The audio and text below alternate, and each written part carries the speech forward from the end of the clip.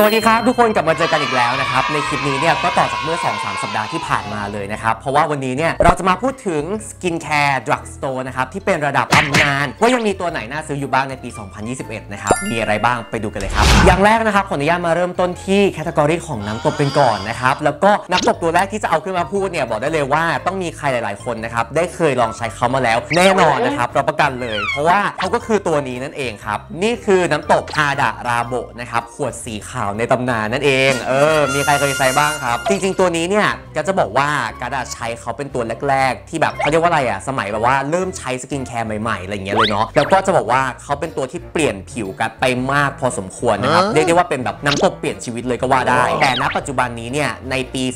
2021 นะครับกัสบอกได้เลยว่าคะแนนความน่าซื้อของเขาเนี่ยกัสให้เขาไปที่ประมาณ 3 เต็ม 5 คะแนนเท่านั้นครับทุกคนเฮ้ยทำไมล่ะเออไหนบอกว่าดีทำไมถึงให้น้อยล่ะ จริง ๆ จะบอกว่าเขายังดีอยู่ไหมเขาก็ยังดีอยู่นะครับเพียงแต่ว่าณปัจจุบันนี้เนี่ยกันรู้สึกว่ามันมีอีกตัวหนึ่งที่มันน่าซื้อมากกว่านะครับซึ่งก็ไม่ใช่คนอื่นคนไกลเลยนะ มันก็คือน้ำตกฮาดาลาโบเหมือนกันนั่นแหละ แต่ว่าเป็นขวดสีทองกันว่าตัวนั้นน่าซื้อมากกว่า เพราะว่าโดยส่วนตัวแล้วนะครับเท่าที่ได้ใช้มาทั้ง 2 สูตรแล้วเนี่ยกันรู้สึกว่าผลลัพธ์แบบมันเหมือนกันเลยอะเออคือเอาจริงนะกันก็ไม่รู้หรอกว่าในส่วนของส่วนผสมเนี่ยมันแตกต่างกันมากแค่ไหนหรืออะไรยังไงนะครับแต่ว่าผลลัพธ์ที่ใช้ออกมาแล้วอะมันเหมือนกันเด๊ะเลยอะแต่ว่าในส่วนของสูตรสีทองเนี่ยใช้แล้วมันเห็นผลเร็วกว่า ใช้แล้วเห็นผลไวกว่า มีประสิทธิภาพมากกว่า แล้วก็รู้สึกว่าผิวมันชุ่มชื้น แล้วก็ผิวมันแบบผิวมันโอเคมากกว่าอะไรอย่างเงี้ยก็เลยรู้สึกว่าถ้าถ้าเป็นไปได้นะเออเพิ่มเงินอีกนิดนึงแล้วก็ซื้อสีทองไปเลยดีกว่านะครับผมส่วนน้ำตบอีกตัวหนึ่งนะครับกันบอกก่อนว่ากันไม่มีที่เป็นขวดแบบเป็นชิ้นเป็นอันมาพูดถึงในวันนี้นะครับแต่ว่าก็เป็นอีกตัวหนึ่งที่กันเคยใช้แล้วเนาะนั่นก็คือน้ำตบ CA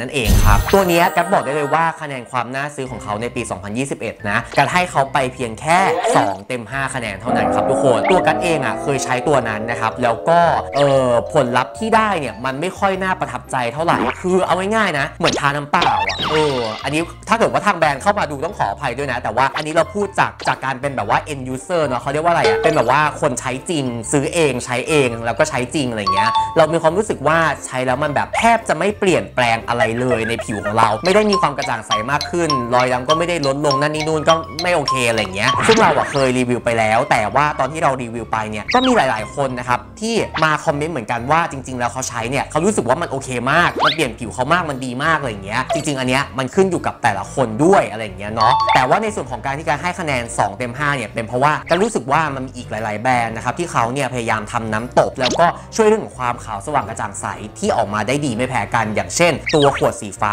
ของฮาดาราโบอันนั้นก็ดีเช่นเดียวกันนะครับยังไงก็ลองไปดูนะจริงๆเนี่ยน้ำตก CA นะก็ไม่ได้อยากจะแบบพูดไม่ดีอะไรขนาดนั้นนะเพียงแต่ว่าอันนั้นเป็นเป็นสิ่งที่มันเกิดขึ้นกับเราจริงๆ ถ้าเกิดว่าใครใช้แล้วดีนะครับ มาคอมเมนต์ข้างล่างนี้ บอกการรีวิวกันข้างล่างนี้ได้เลยนะครับ ตัวต่อมากันดีกว่านะครับ อันนี้เนี่ยเราเข้าสู่ category ของเซรั่มกันบ้างก็แล้วกันเนาะโอ้เมื่อกี้ใส่ยับไปเลยกับน้ำตก CA ขอไปจริงๆอะทุกคนเออแต่ก็นั่นแหละทุกคนมันคือแบบเออสิ่งที่เราอยากจะพูดจริงๆ มันคือแบบความจริงใจของเราเนาะก็อยากให้เข้าใจตรงนี้นะ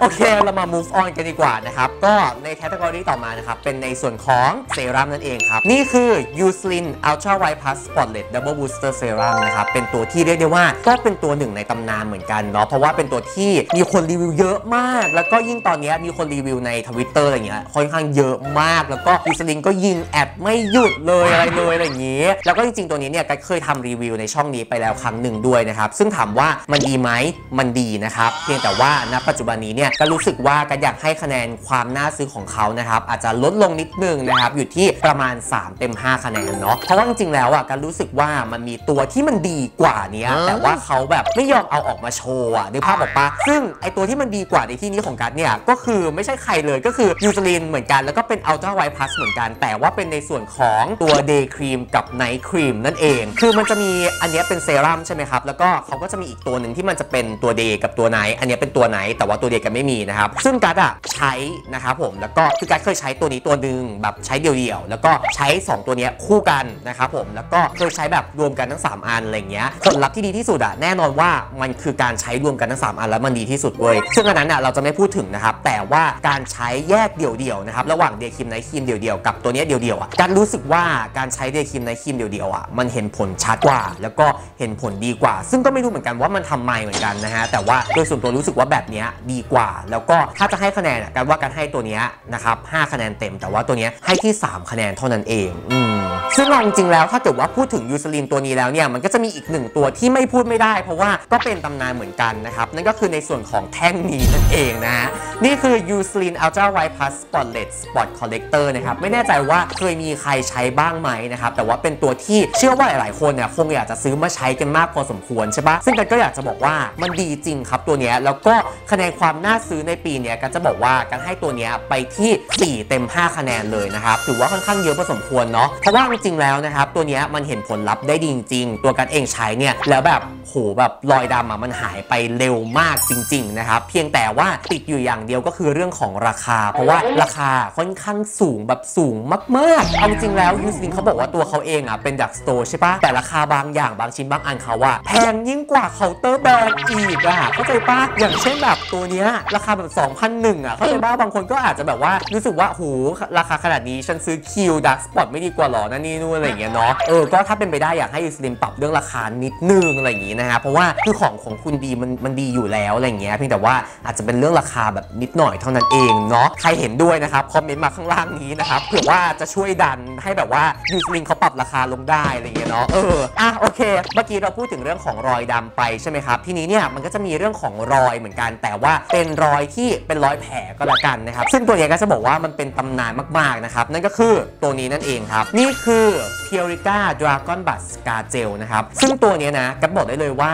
ณ ปี 2021 นี้เนี่ยการให้คะแนนเขาความน่าซื้อของเขานะครับไปที่ 5 เต็ม 5 คะแนนเลยครับทุกคนเออถ้าเกิดว่ามี 10 ก็ให้ 10 มีร้อยให้ร้อยเทหมดใจเทหมดหน้าตักจริง ๆสำหรับตัวนี้เพราะว่าจริงๆแล้วนะครับกัดบอกได้เลยว่าตั้งแต่กัดใช้ยาหรือว่าใช้แบบสกาเจล หรือใช้อะไรที่เกี่ยวกับรอยนั่นนี่นู่นมาทั้งหมดทั้งมวลบนโลกนะ ตัวนี้รักษารอยแผลสดอะได้ดีที่สุด อันนี้พูดจริง ๆ คืออันนี้ต้องบอกก่อนนะว่ามันรักษารอยแผลรอยสิวในพวกนี้เหมือนกันนะครับแต่แต่ว่ามันจะต่างจากตัวนี้นะ เนื่องจากว่าตัวนี้เหมาะกับรอยที่แบบเป็นมาแบบนานมากแล้วเป็นมาเป็นปีแล้วไม่หายสักทีทาตัวนี้ไปอะแล้วมันจะหายแต่ว่าถ้าเกิดว่าเป็นมานานมากแล้วทาตัวนี้ไม่หายนะครับตัวนี้เหมาะกับพวกสิวที่แบบว่าเพิ่งกดเพิ่งแกะเพิ่งแคะเพิ่งเกาอะไรอย่างเงี้ยแล้วก็เป็นแผลสดๆทาตัวนี้ไปปั๊บเนี่ยภายใน 7 วันอะมันจะแบบเออไม่ไม่มีอาการแบบว่าเป็นแผลขึ้นมาเลย แล้วก็จะไม่ทิ้งรอยดำเอาไว้ด้วย ก็เลยรู้สึกว่าตัวนี้ดีมากแล้วก็ในปี 2021อะกันยังหาตัวตายตัวแทนเขาไม่ได้เลยนะครับต่อมานะครับเรายังอยู่ในส่วนของเซรั่มกันอยู่นะครับซึ่ง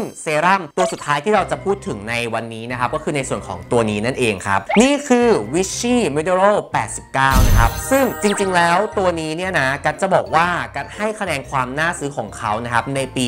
2021 เนี่ยค่อนข้างที่จะน้อยนะครับถ้าเกิดว่าแบรนด์เข้ามาดูก็ต้องขออภัยด้วยนะครับก็การให้เขาไปที่ประมาณ 2 เต็ม 5 คะแนนเท่านั้นเองนะครับเพราะต้องบอกก่อนว่าตัวกัดเองอะใช้เขานะครับแล้วเอาพูดตามตรงคือเหมือนทาน้ำเปล่าเลยอะทุกคนคือมันแบบไม่เห็นผลอะไรเลยอะอันนี้พูดจริง ๆ นะ ไม่ได้แบบว่ารู้สึกว่าหน้าชุ่มชื้นขึ้น หรือว่าไม่ได้รู้สึกว่าผิวแข็งแรงขึ้นนั่นนี่นู่นอะไรอย่างเงี้ยแต่นี่ก็ต้องบอกก่อนว่าตอนที่การใช้เขาเนี่ยการอะผิวแข็งแรงอยู่แล้ว แล้วก็ผิวแบบมีความชุ่มชื้นนั่นนี่นู่นอะไรอย่างเงี้ยดีอยู่แล้วใช่ปะพอทาตัวนี้ไปปั๊บมันก็เลยรู้สึกว่ามันไม่เห็นผลอะไรมันเหมือนแบบมันเหมือนทาน้ำเปล่าอะเข้าใจใช่ไหมเออแต่ว่าสำหรับใครนะครับที่อาจจะรู้สึกว่าตัวเองเป็นสิวง่าย ผิวแพ้ง่าย หรือว่าสกินแบรเ e อร์ไม่ดีนั่นนี่นู่นอะไรเงี้ยกัสว่าตัวเนี้ยน่าสนใจน่าลองนะครับเพราะว่ามันอาจจะไปปรับสกินแบรเ e อร์ของคุณ ให้มันมีความแข็งแรงมากขึ้นได้ เพราะฉะนั้นกัสจะแยกเป็น 2 อย่างอย่างนี้นะครับถ้าเกิดว่าใครที่มีสกินแบรเ e อร์ที่ดีอยู่แล้วกัสจะไม่แนะนำตัวนี้ แต่ถ้าเกิดว่าใครที่เป็นสิวอยู่ผิวแพ้ง่ายอยู่นั่นนี่นู่นอยู่กัสแนะนำให้ลองตัวนี้กัสให้คะแนนไปที่ 5 เต็ม 5 เลยสำหรับคนที่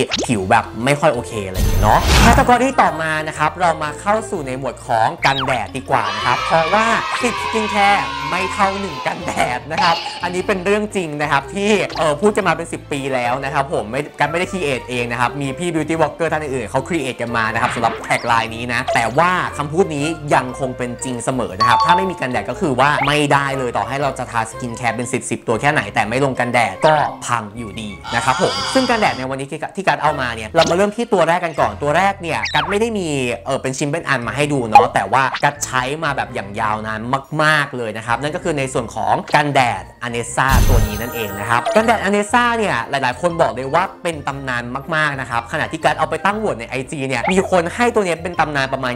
90%เลยถือว่าเยอะมากเลยจริงๆนะการจะบอกว่าสำหรับกันแดดอเนซ่าตัวนี้นะครับ การให้คะแนนความน่าซื้อเขาอยู่ที่โอ้ยตายแล้วฉันจะโดนดราม่าไหมการให้คะแนนเขาไปอยู่ที่ 2 เต็ม 5 คะแนนเท่านั้นเองครับทุกคนเอออาจจะแบบน้อยหน่อยเนาะแต่ว่าอันนี้เป็นเป็นสิ่งที่เราอยากจะพูดจริง ๆ แล้วก็เป็นแบบมาจากความจริงใจของเราจริง ๆ นะครับ แบบไม่มีเฟกไม่มีอะไรเลยนะฮะคือจะบอกว่าทำไมถึงให้คะแนนน้อยขนาดนี้นะครับจะบอกว่าจริง ๆ แล้วเนี่ยตัวกัดเองอะมีอยู่ช่วงชีวิตหนึ่งนะครับกัดใช้เขาบ่อยมากใช้แบบทุกวันใช้เป็นปีอะใช้ประมาณแบบเกือบเกือบสอง2 ปีได้นะครับแล้วก็ซื้อมาตั้งแต่สมัยที่เขายังไม่เข้าไทยอะครับต้องแบบ pre-order มาอะไรอย่างเงี้ยเนาะซึ่งเขาอะกันแดดได้ดีมากเว้ยทุกคนกัสไปถ่ายละครนะกลางแจ้งกลางแดดกลางท้องทุ่งนานั่นนี่นู่นอะไรเงี้ยบอกเลยว่าไม่มีดำคือกันแดดได้ดีมากๆนะครับแต่จะบอกว่าหลังจากกัสเลิกใช้เขานะครับกัสถึงได้เพิ่งมารู้ว่าจริง ๆ แล้วอะเขาส่งผลกับผิวของเรามากขนาดไหน เพราะว่าพอกัดเลิกใช้เขาปั๊บเนี่ยทุกคนสิ่งที่ตามมาก็คือ สิวอุดตันกัดอะหายเกลี้ยงหายปิดปิด ทิ้งเลยโอ้ซึ่งเราอะก็ลองมาย้อนกลับมาดูว่ามันเป็นเพราะอะไรอะไรเงี้ยใช่ปะเราก็เลยมารู้ทีหลังว่า อ๋อ จริง ๆ แล้วเนี่ยมันเป็นเพราะกันแดดตัวนี้ เพราะว่ากันแดดตัวเนี้ยมันเป็นสูตรกันน้ำนึกภาพบอกว่าแล้วพอมันเป็นสูตรกันน้ำปั๊บและเราล้างหน้าไม่สะอาด มันเลยทำให้สารกันแดดอะมันออกไปไม่หมด แล้วพอมันออกไปไม่หมด มันก็เลยไปอุดตันอยู่ในรูขุมขนของเรา แล้วเราก็เลยเป็นสิวอุดตันอยู่อย่างนั้นอะเลื้อรังแบบเป็นปีๆอะไม่หายเลย เราก็เลยแบบว่าเฮ้ยมันเป็นเพราะกันแดดตัวนี้หรือนี่อะไรอย่างงี้นึกภาพบอกปะแล้วก็อีกคะแนนหนึ่งที่กัดแบบว่าหักจากเขาไปเนี่ยก็คือว่าก็รู้สึกว่ากลิ่นแอลกอฮอล์เขาค่อนข้างแรงมาก ๆ ก็เลยแบบว่าเออไม่ค่อยชอบเท่าไหร่ ซึ่งหลาย ๆ คนก็เห็นตรงกันในเรื่องของตรงนี้ใช่ไหมครับ เพราะฉะนั้นเนี่ยก็เลยให้เขาไปที่2เต็ม5คะแนนนั่นเอง แต่ถามว่ามันมีตัวที่มันดีกว่าไหมและน่าซื้อมากกว่าไหมอะไรอย่างเงี้ยก็จะบอกว่ามีเพราะว่าตอนนี้เท่าที่กัดไปดูมานะครับรู้สึกว่าเขาเนี่ยออกเป็นสูตรใหม่มาที่เป็นสูตรสีชมพูเนาะที่เป็นสูตรแบบว่าไม่มีแอลกอฮอล์นั่นนี่นู่นอะไรเงี้ยกัดว่าตัวนั้นน่ะน่าซื้อมากกว่านะครับผมเพราะฉะนั้นถ้าเกิดว่าใครอยากลองกันแดด Anessa จริง ๆ แนะนำว่าไปลองสูตรใหม่ของเขาดีกว่านะครับ สูตรเนี้ยกัดไม่ค่อยแนะนำอะเอาจริง ทีนี้กันแดดตัวต่อมานะครับ ตัวเนี้ยเรียกได้ว่าเป็นตำนานจริง ๆ หลาย ๆ คนน่าจะเคยลองกันมาแล้วนะครับ นั่นก็คือตัวนี้ครับ นี่คือ Biore UV Aqua Rich นั่นเองนะครับสำหรับตัวเนี้ยนะกัดบอกเลยว่าก็เป็นอีกตัวหนึ่งที่กัดแบบใช้มานานมากๆ พอๆกันกับตัว Anessa เลยนะครับ แล้วก็ใช้มาตั้งแต่เขายังไม่เข้าไทยแล้วก็ต้อง pre-order มาจากแบบว่าญี่ปุ่นอะไรอย่างเงี้ยกันเลยทีเดียวนะฮะซึ่งกัดจะบอกว่าตัวเนี้ยมันดีจจริงๆเว้ยทุกคนก็กันแดดได้ดีเหมือนกับอเนซ่าเลยนะครับแต่ว่าราคาถูกกว่าอเนซ่าเยอะมากๆ แทบจะเท่าตัวเลยก็ว่าได้นะฮะก็เลยรู้สึกว่าตัวนี้กัดชอบมากกว่าตัวอเนซ่าแต่มันก็ติดอย่างหนึ่งที่ว่ากลิ่นแอลกอฮอล์เขาก็แรงพอๆกันนะครับเพราะฉะนั้นตัวนี้เนี่ยก็จะให้คะแนนความน่าซื้อของเขาในปีนี้อยู่ที่ 3 เต็ม 5 คะแนนนะครับต่อมานะครับเรามาเข้าสู่ในหมวดของโฟมล้างหน้ากันบ้างดีกว่านะครับโฟมล้างหน้าเนี่ยจริง ๆ วันนี้กัด list มาหลายตัวมากประมาณแบบ2อสตัวเลยทีเดียวเชียวนะครับ แต่ว่าไอ้สองสามตัวนั้นน่ะส่วนใหญ่มันเป็นเกี่ยวกับเรื่องของสิว เกี่ยวกับการรักษาสิวอะไรต่างๆนานาซึ่งจริงๆแล้วถ้าเกิดว่าทุกคนสังเกตเนาะสกินแคร์ที่กัดเอามาพูดถึงในวันนี้ไม่มีตัวไหนที่ช่วยรักษาสิวตรงๆ เลยสังเกตปะเพราะว่าอะไรเพราะว่าเราจะแยกไปทำอีกคลิปคลิปแต่ว่าพูดอะไร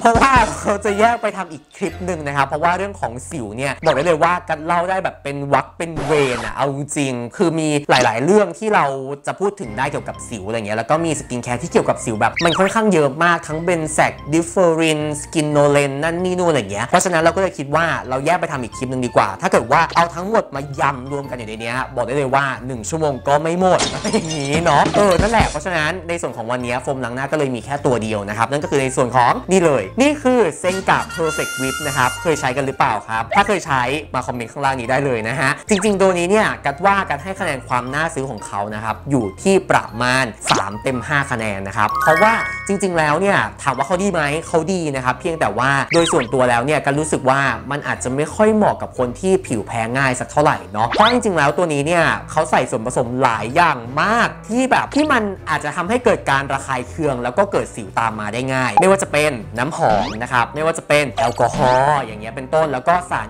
SLS SLES อะไรต่างๆนานาที่ทำให้ผิวแบบ ER ER อะไรพวกเนี้ยเขาใส่มาแบบจัดเต็มมากแม่ถึงออกไปว่าบอกบ้าเพราะฉะนั้นเนี่ยเราก็เลยรู้สึกว่าคะแนนความน่าซื้ออาจจะน้อยหน่อยนะครับเพราะว่ามันก็มีโฟมล้างหน้าที่เป็นสูตรที่มันอ่อนโยนกว่านี้เยอะมาก แล้วก็ราคาพอๆกันก็ค่อนข้างเยอะมากอย่างเช่นของ Clear Nose เป็นต้นอะไรเงี้ยเนาะแต่ถามว่าตัวเนี้ยดีไหมมันก็ดีนะครับเพราะว่าอย่างตัวกันเองที่แบบผิวแข็งแรงอยู่แล้วอะไรเงี้ยใช้ปั๊บเนี่ยก็รู้สึกว่าผิวมันก็สะอาดดีมากๆอะไรเงี้ยแล้วก็หลายๆ สิ่งหลายๆอย่างเราก็ชอบจากเขาอะเออเพราะฉะนั้นก็ก็เลยไม่ได้อยากให้คะแนนเขาน้อย แต่ก็ไม่ได้อยากให้คะแนนเขาเยอะเช่นเดียวกันในภาพผมไหมเพราะฉะนั้นก็เลยให้ไปที่กลางๆที่ 3 คะแนนก็แล้วกันครับผม และสำหรับ category สุดท้ายนะครับก็คงจะเป็นอะไรไปไม่ได้นอกจากโทนเนอร์นะครับแล้วก็โทนเนอร์ในที่นี้ก็คงจะเป็นใครไปไม่ได้ นอกจากคุณคนนี้นะครับนี่คือโทนเนอร์จากเอ่อ Neutrogena นะครับหรือว่า Neutrogena Alcohol-Free Toner นั่นเองนะครับสำหรับโทนเนอร์ตัวนี้ในปี 2021 นะครับกัดให้คะแนนเขาไปที่ 5 เต็ม 5 คะแนนเลยครับทุกคน เพราะอะไรถึงให้คะแนนเยอะขนาดนี้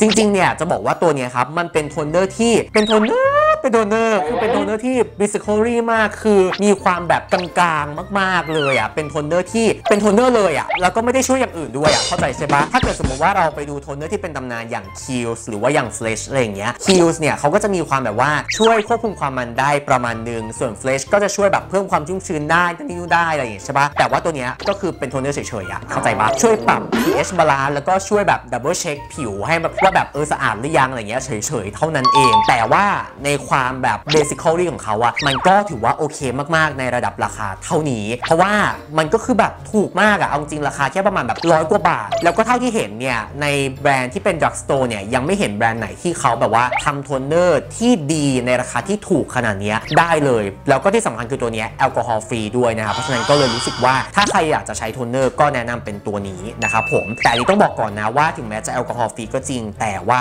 มีน้ำหอมนะครับ ก็ถ้าใครแพ้น้ำหอมก็ระวังกันนิดนึงก็แล้วกันเนาะและนี่นะครับก็เป็นสกินแคร์ drugstore ที่เป็นระดับตำนานที่เราเอามาพูดถึงกันในวันนี้นั่นเองนะครับผมบางตัวเนี่ยอาจจะเป็นตำนานจริงนะ แต่ว่ากัดไม่ได้เอามาพูดเป็นเพราะว่ากัดเนี่ยยังไม่เคยลองใช้เขานะครับเพราะฉะนั้นกัดก็จะรีวิวแค่ของที่ตัวกัดเองเนี่ยเคยลองใช้แล้วเท่านั้นถึงจะสามารถเอามารีวิวได้เนาะเอาเป็นว่าถ้าใครนะครับที่มีตัวไหนที่เป็นสกินแคร์ drugstore แล้วแบบมันดีมากมันเลิศมากอยากจะบอกต่อก็สามารถที่จะมาคอมเมนต์ข้างล่างนี้ได้เลยนะครับและสำหรับคลิปในสัปดาห์หน้านะครับบอกได้เลยว่าเป็นอะไรที่ค่อนข้างยากสำหรับกัดมาก เพราะว่ามันจะต้องเป็นคลิปที่กัดเนี่ยจะต้องรวบรวมความกล้าของตัวเอง เพื่อที่จะแสดงความจริงใจต่อคุณผู้ชมมากพอสมควรนะครับ เพราะว่าคลิปหน้าเนี่ยเป็นคลิปที่กัดจะพูดถึง makeup นะครับที่กัดใช้แล้วกัดไม่ชอบนั่นเองนะครับเอาเป็นว่าถ้าใครอยากดูนะครับก็สามารถที่จะกดติดตามช่องกัดเอาไว้นะครับแล้วก็กดเออเขาเรียกอะไรนะกดกระดิ่งรอเอาไว้ได้เลยนะครับเวลาที่กัดลงคลิปใหม่เนี่ยจะได้ขึ้นไปแจ้งเตือนที่เครื่องของทุกท่านนั่นเองนะครับผมยังไงวันนี้เนี่ยฝากกดไลค์ให้กับวิดีโอนี้กันด้วยนะครับ ไว้เจอกันใหม่ในคลิปหน้ากันละกันนะครับสำหรับวันนี้ไปแล้วครับ บ๊ายบาย สวัสดีครับ